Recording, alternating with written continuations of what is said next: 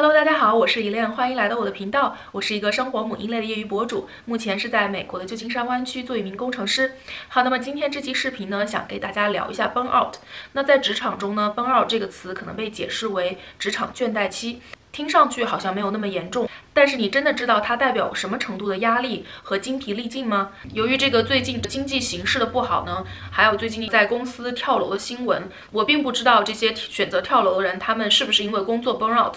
但是我知道工作中的心理问题已经是越来越重要了，所以我这期视频呢就想关注一下工作中 burn out 的这种情绪，来给大家分享一下，作为一个过来人的我，呃，做了哪些 research，然后给你们剖析一下工作中 burn out 的原因，进而深入探讨一下工作的意义。那最后呢，我也会抛砖引玉的给你们总结一下，我个人认为可能比较有效缓解 burn out 的方法。那我先说一下做这期视频的初衷吧。看过我之前视频的小伙伴大概也知道，我从去年 reorg 了好几次，到今年其实都长期的处于这种高压的环境。然后这种压力因为一直存在，所以就导致了我情绪上受到了影响。那去年我去做 women annual exam 的时候，跟这个 physician 在简短的沟通聊天当中，我就情绪崩溃，就是因为他简单的问了一句你最近怎么样。当时我给他大倒苦水，说工作中压力很大，我最近觉得非常的不开心。正是因为这个 signal，让我当时去做了很多的 research，去了解了一下什么是 burn out，然后如果你处于 burn out 边缘，怎么去自救。那么今天这期视频呢，也想把我了解到的有关信息毫无保留的分享给你们。如果你也正在处于这个 burn out 边缘，或者是分享给任何对他有帮助的人，那如果这期视频呢非常长，你懒得看下去，有一句话一定要记住，就是 burn out 是件非常非常常见的事情。工作其实是很漫长的，所以可能都会有这个时期，而且它不仅仅发生在你的。身上可能发生在很多人的身上，所以不是你的问题，一定要正视它，然后我们想办法去解决它。好，那么今天的视频呢，分为以下几个部分。第一个部分就是了解一下 burn out 和 stress out 的区别。第二个部分呢，就是来分析一下你 burn out 的原因，那进而会深入剖析一下工作的意义。第三个部分呢，就是 burn out 的自我解救方法。好，那我们首先聊一下 burn out 和 stress out 的区别。这两个词呢，可能会互相都在使用。那么，为了更好的区分它们，在这个人人都是 AI 的时代，我也把这两个词丢进了 Chat GPT，然后让我们来看一下它是怎么解释的吧。那从以上这个解释，我们可以看出来，stress out 就是短暂的，你的生理和心理影响可能会随着压力的消失而消失，但是 burn out 却是长期处于高压环境下。比 stress out 会更加严重，可能会严重的影响到正常工作或者生活，并且这个情绪不容易 go away。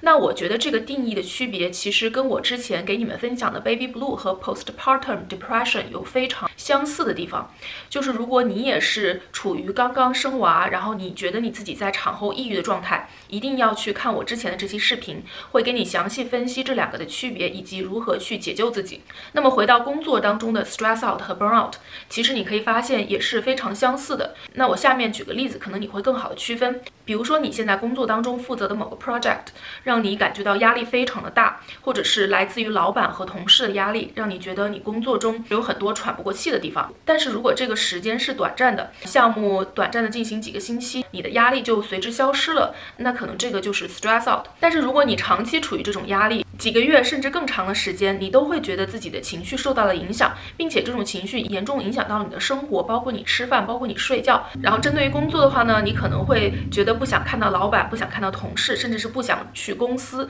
那我觉得你可能就是处于 burn out 边缘了。那我当然希望大家只是经历 stress out，但是如果你真的觉得你已经接近 burn out 边缘，那我们接下来就来聊一聊你是如何慢慢一步步走到 burn out 的。那第二部分呢，就是来帮你一起分析一下 burn out 的原因。那第一个原因呢，可能我想到的就是身份问题。你在北美工作是需要有合法工作身份的。我之前的一期视频也提到了这个工作身份的转变，包括你从 CPT 到 OPT 再到 H1B，最后拿到绿卡，这个漫漫长路当中，你有很长一段时间可能是没有办法失去工作的。如果你丢掉了一份工作，你可能只有一个短暂的 grace period 找到下一份工作。如果你没有办法在短时间内找到下一份工作，可能你就会要被迫离开美国。所以正是因为。这个身份的 concern，导致很多人就会在这个工作上忍气吞声，然后呢，就告诉自己，我在熬过这段时间，我可能就会拿到了工作身份，我就不会去担心这些事情了。那如果是这个原因的话，我觉得你可能要问一下自己，留在北美对你来说真的有那么重要吗？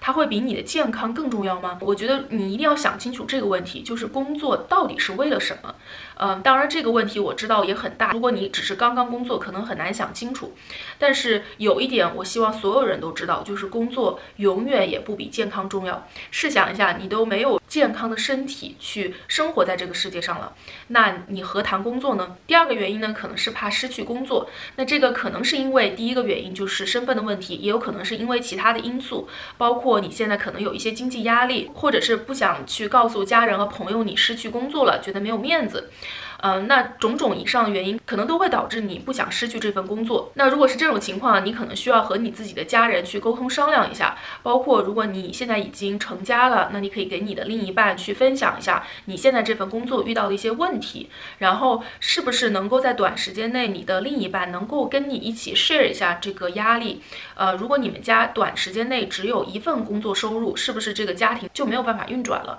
那如果你只是单身一个人的话呢，也可以跟你自己。的家人去分享一下，嗯，如果你失去这份工作，他们能不能够短暂的给你接济一些，帮你度过这个难关？好，那第三个原因呢，就是怕 peer pressure，你感受到了你工作中其他的同事都很快的升职了，都能够达到自己想要的地方，都能够受到人家的认可，但是你却没有。比如说你想在几年内升职，所以呢，就导致了你自己的压力。其实我觉得这种 peer pressure 大家每个人都会有，但是如果你往深一层想，其实这种 peer pressure 就是你自己给自己的。嗯，比如说你会认。认为其他的人就会比你开心，其他的人达到了 next level 就会给他带来更好的生活。但是呢，这个 assumption 其实不一定成立。据我所知，在工作中时间待得越久，越往上升职，其实你的压力往往不会减小，反而会越来越多，因为你承受的责任就会多了。资本主义市场没有一个是免费的午餐。你想，他们赚的比你多，如果他们责任还比你少，担忧的事情还比你少，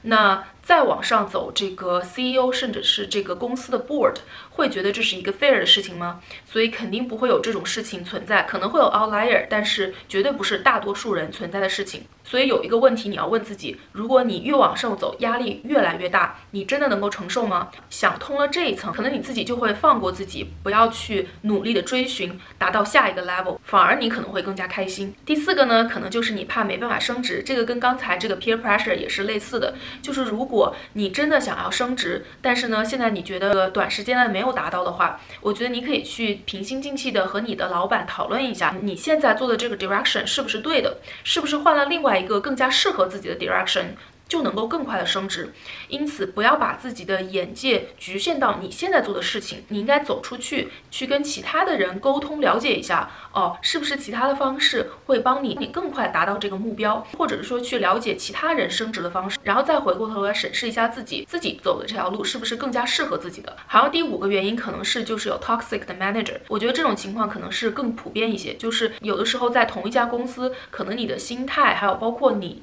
对这份工作的喜爱，很大程度上是取决于你所在的 org，取决于你的直系 manager。你如果你现在的 manager 就是一个非常有毒的 manager，那你一定要认清楚，那这个有毒的 manager 给你造成了什么样的心理压力？它仅仅是针对于你个人，还是针对于你们组里的每一个小伙伴？它都是这样子的。如果是仅仅针对于你个人，我个人建议，在北美这个职场上，你更应该去。发声表达出来自己的这种不 fair 的对待，搜集证据，适当的时候跟 manager 沟通。如果沟通无效，可以去把搜集到的证据跟 HR 汇报。我觉得就是最后，其实你不要认为你的 manager 就是决定你人生的唯一的一个人，在工作中所有人都是对等的关系。就是你也应该让你的 manager 知道，你不能这么不公平的对待我。那如果他对每个人都是这样的话呢？那你可能更要审视一下在这个组长期待的意义了。好，那第六个呢，就是 toxic 的环境。我觉得这个跟以上也是联系在一起的。如果你所在的这个环境，整个 org 都是比较 toxic，不仅仅是你的 direct manager 的话，我觉得这个是一个更加严重的问题。因为你想，你改变一个人已经很难了，但是改变这个环境，我觉得简直是不可能的。你如果想清楚这个事情，一定要放过自己，然后去找到下一个更加适合你自己的工作环境。那分析完这些 burnout 的原因之后呢，我想说一下工作的意义。其实，在资本主义社会中，我们都是在用自己的时间在换取一份报酬。如果你觉得你待在这里换取了你相应的报酬，你比较开心，那你就适合继续待在这里。如果你在这里已经远远的超出你应该花的时间，并且没有任何的生活而言，那我觉得你应该去审视一下这份工作到底还适不适合你。爬到 ladder 的最高了之后，给你带来了什么？或者你问一下自己，升职之后会不会让你更加的开心？拿到了更多的 responsibility，拿到了更多的钱，会不会让你的生活更加的舒适？嗯，会不会让你心情会更加的好？你一定要想清楚工作的意义，然后再去决定这个导致你崩 out 的原因值不值得你继续去消耗自己的时间，消耗自己的精力。好，那第三个部分呢，就是来抛砖引玉的说一下崩 out 的解救方法。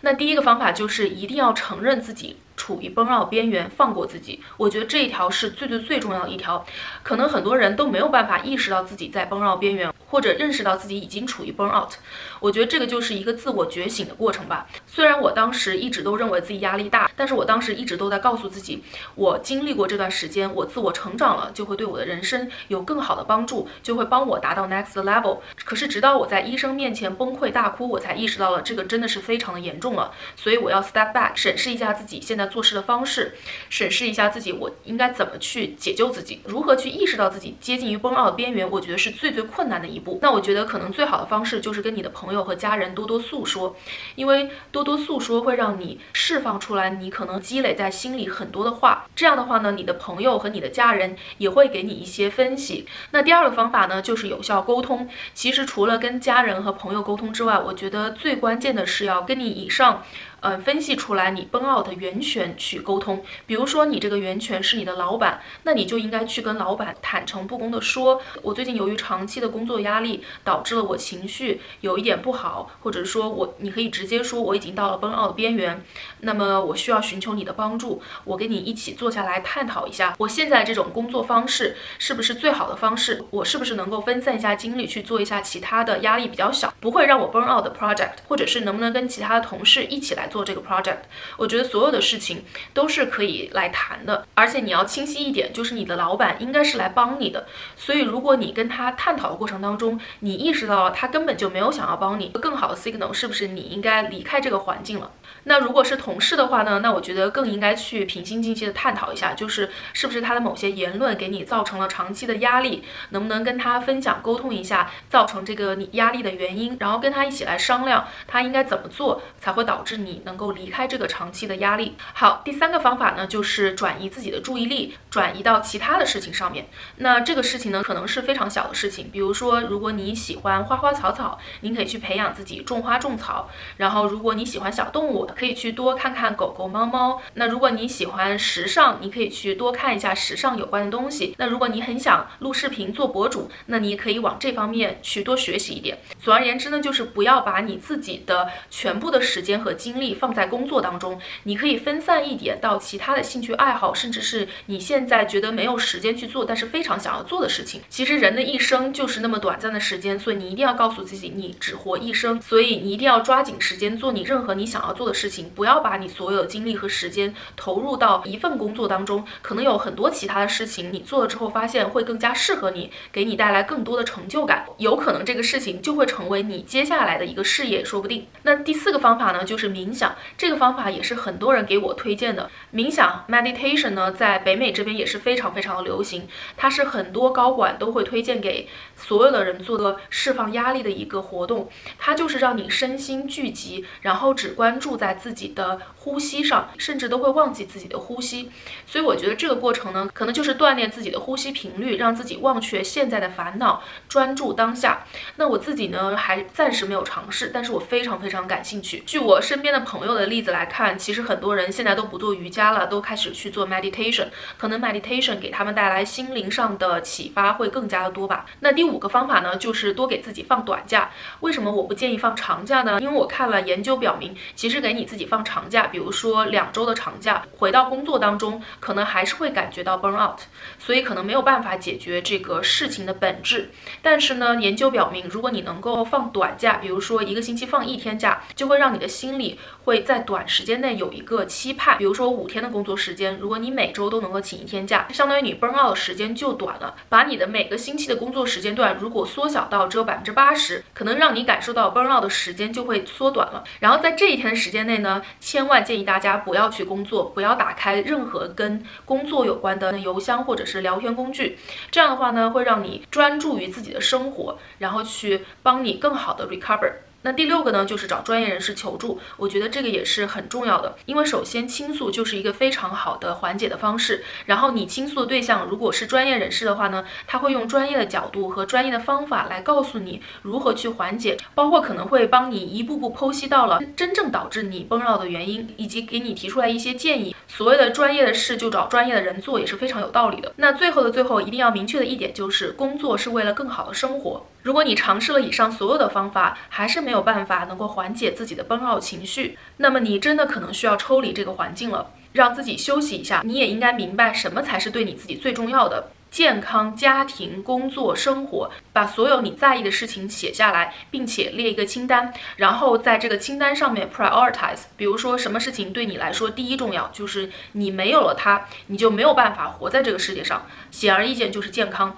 那其他的第二位、第三位、第四位，或者说。并列第几位？那这些都是因人而异的，所以呢，我觉得最重要就是列出来这个清单，然后去看一看工作到底是排在第几位。职场打工人大家都很不容易，如果你跟我一样还是一个职场妈妈的话，可能很多时候更加容易情绪崩溃。比如说在照顾小孩子的过程当中，他如果有一些不听话，触碰到了你自己的底线，你会觉得工作和生活都会给自己带来这么大的压力，就会容易 burn out。但是你一定要告诉自己，工作真的就只是工作，你就是在。出卖时间，然后换得一定的报酬，所以要想清楚自己人生的主次级，千万不要因为工作影响了健康，甚至是自己放弃生命。那我觉得这样就真的是本末倒置了。那希望这期视频能够帮助到跟我一样经历 burn out 的你。如果喜欢这期视频，别忘了给他点赞、评论，并且订阅我的频道。我们下期再见，拜拜。